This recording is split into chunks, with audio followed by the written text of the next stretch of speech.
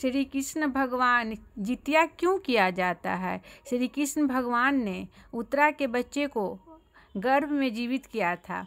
वही दिन से आसमन मास से कृष्ण पक्ष की अष्टमी से तब, था।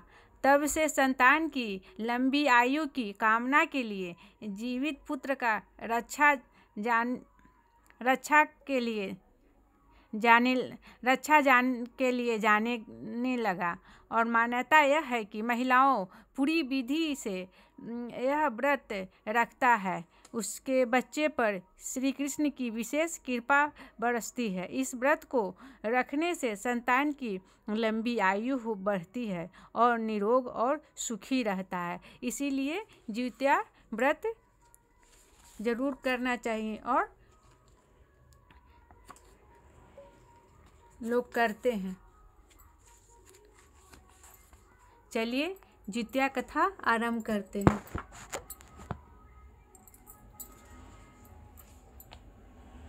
एक बार नैमी शरण के निवासी ऋषियों ने संसार के कल्याण कल्याण अर्थ सूत जी से पूछा, हे सूत्र कारल कलिका में लोगों के बालक किस तरह से दीर्घायु हो दीर्घायु होंगे, सो कहिए, सूजी बोले, जब अपर का अंत और कलियों का आरंभ था, उसी समय बहुत सी शोकाकुल स्त्रियाँ ने आपस में सब में सलाह की कि क्या इस कली में माता के जीवित रहते पुत्र मर जाएँगे। जब वे आपस में कुछ निर्णय निर्णय नहीं कर सकी, तब गौतम जी के पास पहुँचने के लिए गई। जब उसके पास से पहुँची तो उसे समय गौतम जी आनंद के साथ बैठे थे। उसी के सामने जाकर उन्होंने मस्तक झुकाकर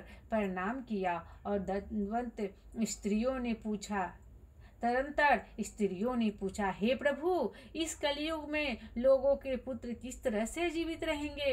इसके लिए कोई व्रत या तप हो तो कृपा करके बताएँ। इस तरह उनकी बात सुनकर गौतम जी बोले, आपको मैं यही बात कहूँगा जो मैंने पहले से सुन रखी है। गौतम जी ने कहा, जब महाभारत युद्ध का अंत हो गया हो गया और द्रो पुत्र अस्र अश्रव तथा अमा के द्वारा अपने बेटे को मारा देखकर तब पांडव बड़े दुखी हुए। तो पुत्र के शोक से व्याकुल होकर द्रौपदी अपनी सखियों के साथ ब्राह्मण श्रेष्ठ धाम, धाम्य के पास गए। औम्य के पास गए और उसने धौम्यों से कहा, हे विप्रेंद्र कौन सा उपाय करने से बच्चे दीर्घायु हो सकते हैं? कृपा करके ठीक ठीक कहिए। धौम्य बोले सत्य गुण से सत्य वचन बोलने वाला, सत्यचारण करने वाला समदर्शी के जन्म और कुल के बास पूछने लगे। राजा ने कहा, मेरी माता का नाम है सभ्या और मेरे पिता का नाम साली। वाहन है। सूर्य वंश में मेरा जन्म हुआ है और जी वाहन मेरा नाम है। राजा की दयालुता देकर गरुड़ ने कहा, हे महाभाग तुमने मन में जो अभिलाषा हो, वह वर मांगो। राजा ने कहा, हे पक्षीराज यदि आप मुझे वर दे रहे, वर दे रहे हैं तो वर दीजिए कि आपने अब तक जिन प्राणियों को खाया है, वह सब जितिया को जीवित हो जाएँ। हे स्वामिनी, अपने अब से आप यहाँ बालकों को न ले, न खाएँ, और कोई ऐसा उपाय करें कि जहाँ वह उत्पन्न हो। वे लोग बहुत दिनों तक जीवित रहे। धौम्य ने कहा कि पक्षी राज गरुड़ राजा को वरदान देकर स्वयं अमृत अमृत के लिए नाग लोग चले। वहाँ से अमृत लाकर उन्होंने उन मरे मनुष्यों को हड्डियों पर बरसाया। ऐसा करने से सब लोग जीवित हो गए। जिसको जिनको किसी पहले गरुड़ ने खाया था, राजा के त्याग और गरुड़ की कृपा से वहाँ वालों वहाँ वालों का बहुत कष्ट हो, दूर हो गया। उस समय राजा के शरीर की शोभा दूनी हो गई थी। राजा को दयालुता देखकर गुरुर ने फिर कहा, मैं संतान के कल्याण अर्थ एक और वरदान दूँगा। आज आ भी आज शिवन कृष्ण सत अष्टमी के रहित शुभ अष्टमी तिथि है। आज ही तुमने यहाँ की प्रजा को जीवित दान दिया है। हे वस्त, सब अब से यह दिन ब्रह्म भाव हो गया है। जो मूर्ति भेद से विविध जान, नामों से विख्यात हैं, वही वही त्रैलोक्य से पूजित दुर्गा अमृत प्राप्त करने के अर्थ में जीवित पुत्र का कह लाती है।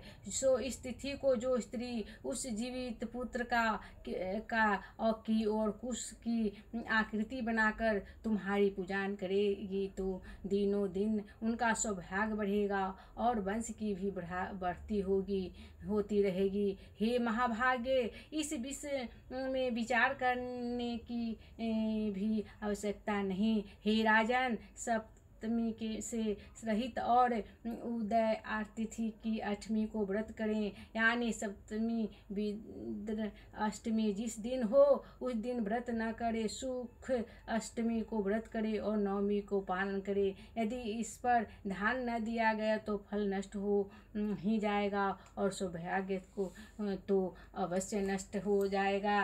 जीमुतवाहन को इस तरह का वरदान देकर घूर बैकुंठ धाम को चले गए और राजा की अपनी पत्नी के साथ अपने नगर को वापस चले आए। धौम्य द्रौपदी से कहते हैं, हे देवी, मैंने यह अति से दुर्लभ व्रत तुमको बताया है। इस व्रत को करने से बच्चे दीर्घायु होते हैं। हे देवी, तुम ही पूर्वोत्तम विधि से यह व्रत और दुर्गा जी का, दुर्गा जी का पूजन करो। तो तुम्हें अभिलाष इत फल प्राप्त होगा।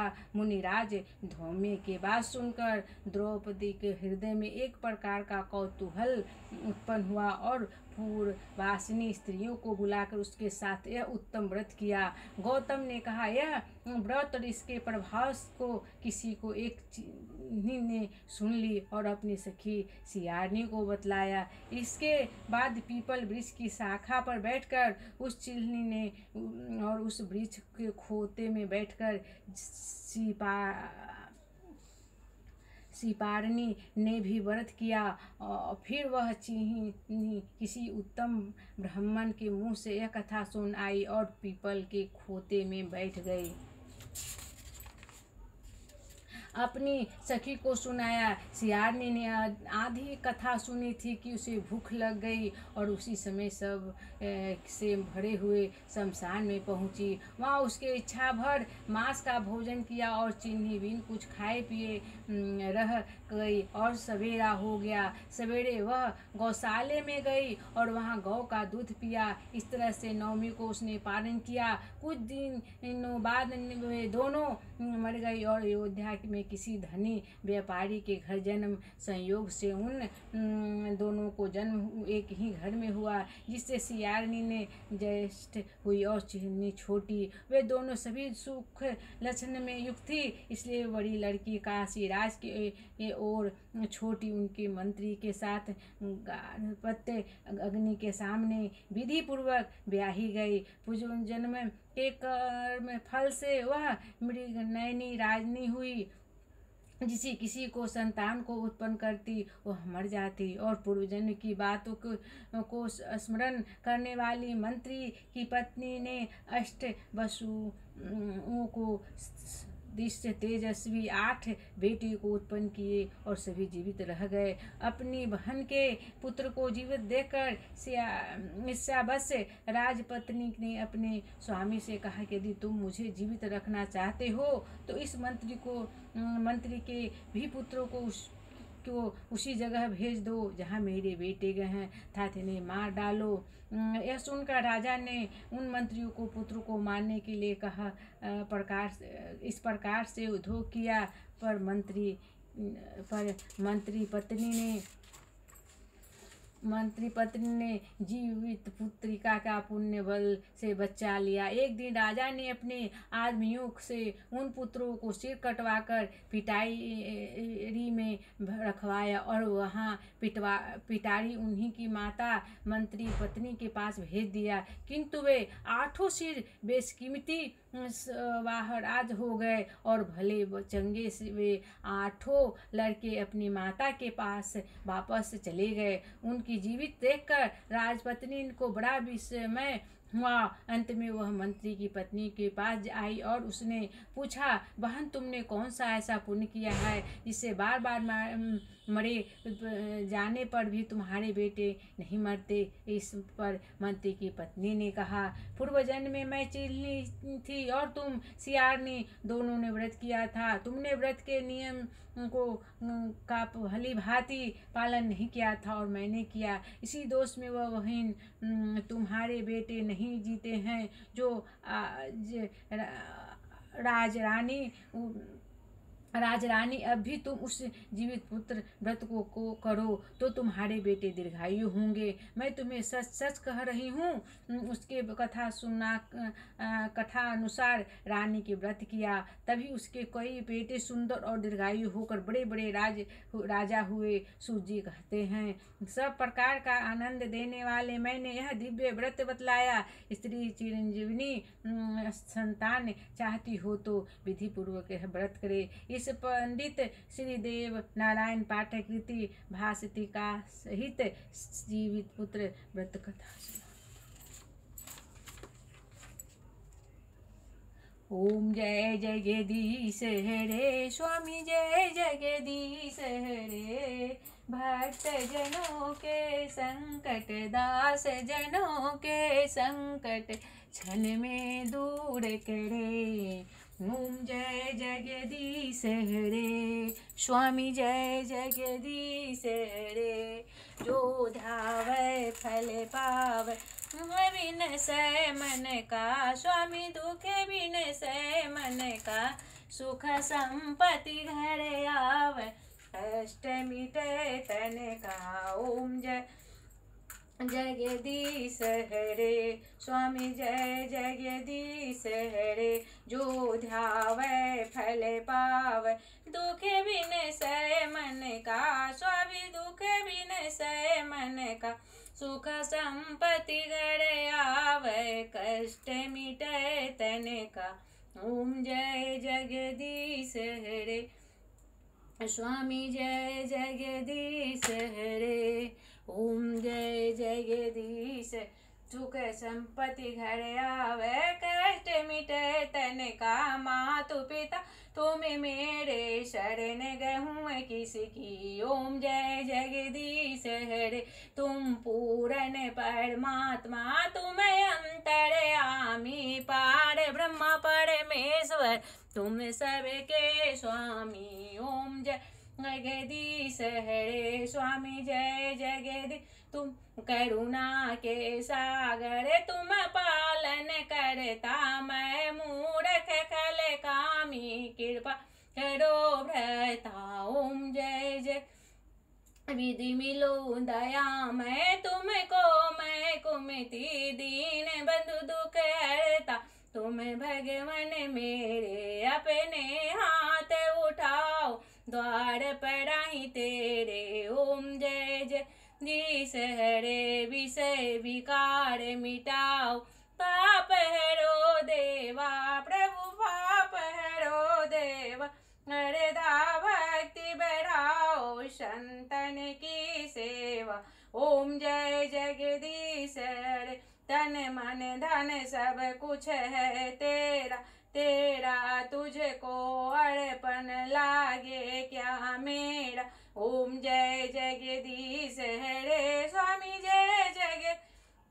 हे भक्त जनों के संकट दास जनों के संकट, क्षण में दूर करे। ओम जय जगदीश, हरे स्वामी जय जगदीश, हरे। एक बार बोलिए देवी दुर्गा। 季节。